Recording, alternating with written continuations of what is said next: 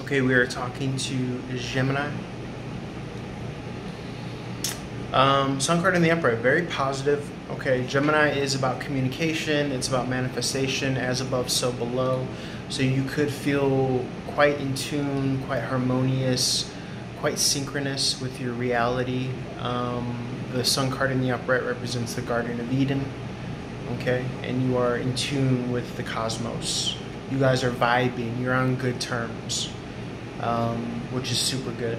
Um, because a lot of the times we are the kind of uh, creators of our of our own kind of hell cell or you know imprisoned sense of, of, of being within our environment unfortunately but know well that there is um, a harmonious stride that you could hit and there is a um, you know um, a lifeline, if you will. There is this kind of force that you can feel in tune and in harmony with.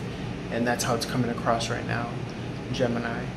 Um, so you could be in a position where you're needing to know that. Uh, remember, we're in the age of Aquarius and um, the age of Pisces before that, you know, the Jesus fish metaphor. The Pisces, one fish believes, one fish doesn't believe.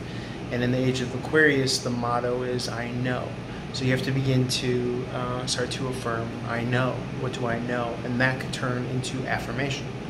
Um, I know I will be a success. I know God will show me the next step. I know an incoming offer will um, be uh, presented uh, at my feet, at my doorstep. And as a result of that, you're coming out of worry. Okay, you're you're you're when you can see the universality in, in one thing, uh, you can find it in anything. And so now you're not just doing what you do, you're making love to what you do. Like if you could get if you could like wrap your head around that, like like you know, say if I do like deliveries on the side or whatever, I actually do deliveries on the side, or I've been doing deliveries on the side, like with my scooter, my electric scooter, stand-up scooter, and you could get so like in sync and in tune and in the zone where you feel like you're making you're making love to these streets. You know what I'm saying? Like, and I, I know that sounds funny, haha, like whatever, it's ridiculous, but um, I think that there's something to that. And so if there's a craft or a skill those who know, they know that when you're at a high level, it becomes something magical, more.